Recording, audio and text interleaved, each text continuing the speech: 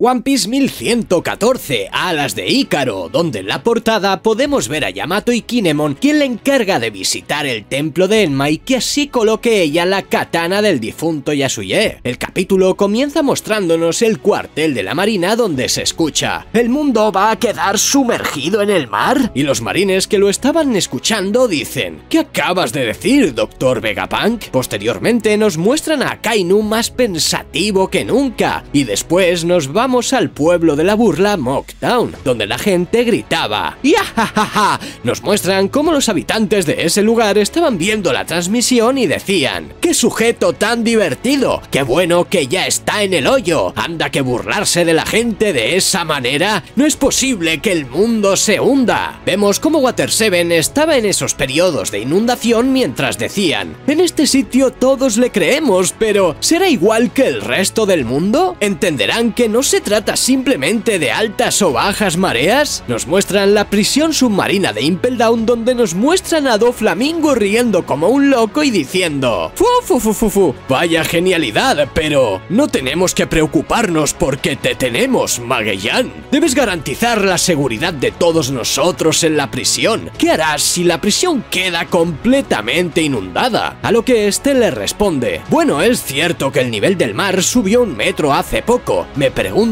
¿cuántos metros tendría que subir el nivel realmente para hundir por completo al mundo? A lo que Doffy le contesta, la mayoría de ciudades desaparecerían si subiera unos 5 metros. Fu, fu, fu. ¿Crees que sea buena idea evacuar a todos? Siempre podemos subirnos a un lugar más alto. Pero cambiamos de escena y nos muestran la isla Gyojin, donde se escucha ¡Padre! Y Shirahoshi le dice ¿Crees que eso pueda ser posible? A lo que este le responde Hmm, suena algo muy descabellado. Nos vamos a la isla de Egghead donde los marines se preguntan ¿Cómo se atreve a decir algo así? Aunque sea el mejor científico del mundo, ese tipo de mentiras solo harán que el mundo se vea envuelto en un caos. Y vemos como uno de los marines que estaba allí decía Menudas tonterías ha dicho este doctor Vegapunk. Nos muestran a los Gorosei bastante preocupados y comunicándose entre ellos y estos decían Oye, destruye toda la señal de vida que percibas en la isla. Debes hallar ese Haishin Denden Mushi. Todo lo demás ahora mismo da igual. Enfócate en eso. Vemos cómo Mars estaba envuelto en su propia ira por no poder encontrar la señal. Y York, mientras corría por el laboratorio, se preguntaba ¿Qué más dirás, Estela? La transmisión continuaba y el viejo Punk desde allí decía Voy a realizar una pequeña predicción de algo que ocurrirá un día después de grabar este vídeo. Si el sensor que creé y mis cálculos son correctos, es más que seguro que ocurrirá un terremoto inusual que afectará al mundo. Y la gente del mundo entero se preguntaba, ¿eh? Una chica que no recuerdo su nombre, sí, lo siento, dejádmelo en la caja de los comentarios, exclama, ¿está hablando del terremoto que se sintió hoy? ¿Cómo puede saberlo si él ya no está aquí? Vemos cómo la lluvia inundaba varios lugares del mundo mientras la retransmisión continuaba y decía, junto a eso, el nivel del mar en muchos lugares aumentará un metro aproximadamente,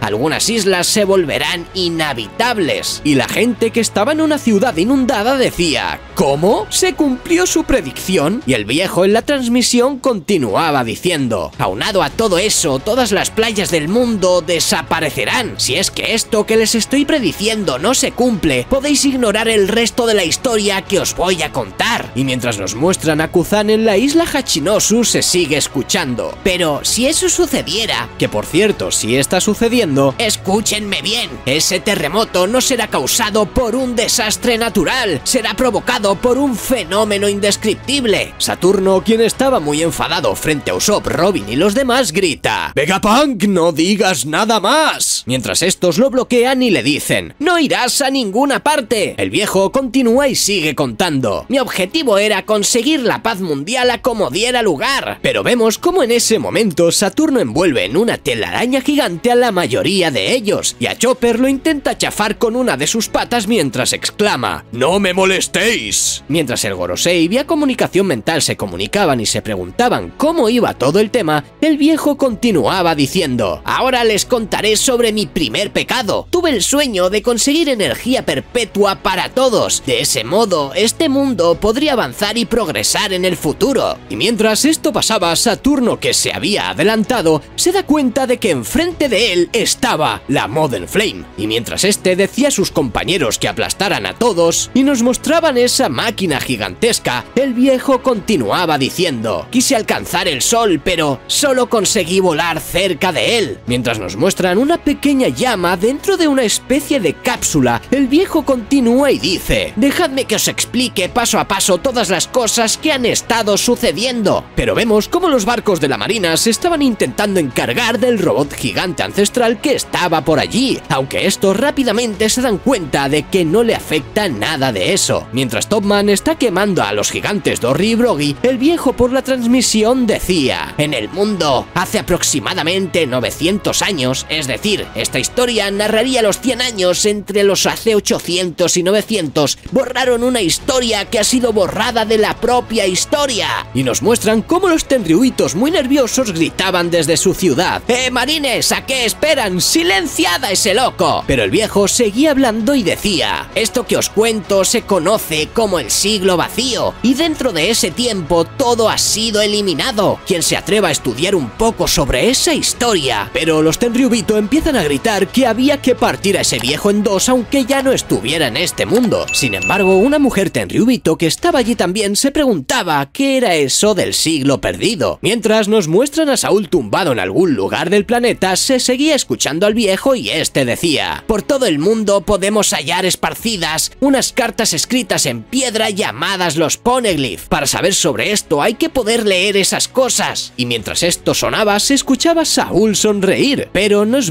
Orange Town, donde unos niños que estaban leyendo un libro decían, hace mucho tiempo 20 reyes unieron sus fuerzas para crear el mundo tal y como los conocemos. ¿Sabías eso, abuelito? Pero nos enfocan el vídeo de Vegapunk y este seguía diciendo, sin embargo, descifrar los Poneglyph ha sido prohibido por el gobierno mundial, incluso para alguien como yo que trabaja para ellos. Estudiar eso ha sido mi segundo pecado. Gracias a los esfuerzos de grandes arqueólogos, fui capaz de descifrar y continuar con esa investigación. He heredado su misión de investigar los Poneglyph y no me arrepiento de nada. La historia cuenta eso y debe ser contada. Pero desde Egghead alguien gritaba, ¡Todo se está moviendo! ¡Miren! ¡Las nubes están cambiando! Y Brooke le dice a Usopp, esto podría ser obra de Edison San. Él dijo que se encargaría de que el barco zarpara. Si logra que las nubes se extiendan hacia abajo, alcanzaremos el mar. Y vemos cómo Edison estaba dentro del laboratorio moviendo una palanca y decía, me encargaré de que escapen Mugiwaras. No permitiré que el gobierno los atrape. Mientras vemos Egghead y posteriormente el vídeo del viejo, otra vez este continuaba diciendo, bien, ahora les contaré lo que sé sobre esta historia incompleta. Sé que no debo complementar nada de la información faltante, solo les contaré lo poco o mucho que sé. Y mientras esto pasaba, vemos a Luffy enfrentándose al jabalí del Gorosei, pero el viejo seguía diciendo, el protagonista de la historia que estoy por contar es un sujeto que nació hace 900 años en un reino avanzado, del mismo modo que el dios del sol Nika de Elbaf, este hombre poseía un cuerpo elástico que usaba para luchar, y su nombre era Joy Boy. Y mientras Luffy se estaba pegando, los gigantes decían, ¡Ah! ¡Deja de hacernos reír! Y Vegapunk continuaba diciendo, y fue conocido como el primer pirata que existió. Fin del capítulo 1114, no hay manga la semana que viene,